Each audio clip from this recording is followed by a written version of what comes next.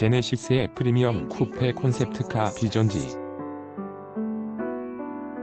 현대차 제공 현대, 기아 자동차는 미국 2016 굿디자인 어워드에서 아이오닉 K7 스포츠 유틸리티 차량 SUV 콘셉트카 텔루라이드가 자동차 부문 수상작으로 선정됐다고 14일 밝혔다. 현대차 20만 9502.20L 고급 브랜드 제네시스의 프리미엄 쿠페 콘셉트카인 비전 G도 수상했다. 굿 디자인 어워드는 미국 시카고 아테네움 건축 디자인 박물관과 유럽 건축, 예술, 디자인, 도시 연구 센터가 협력해 선정하는 상이다. 전자, 운송, 가구, 컴퓨터 등 포춘 500대 기업의 다양한 제품들에 대해 부문별 수상작을 매년 발표한다.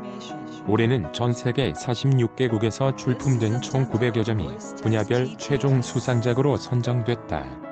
현대차 그룹 관계자는 현대, 기아차 83,600.0.60L 독창적이고 혁신적인 차량 디자인이 세계에서 인정받고 있다며 앞으로도 품질, 상품성은 물론 디자인 경쟁력을 강화해 전 세계 고객에게 더 나은 만족을 제공하겠다고 말했다. 안혜원 한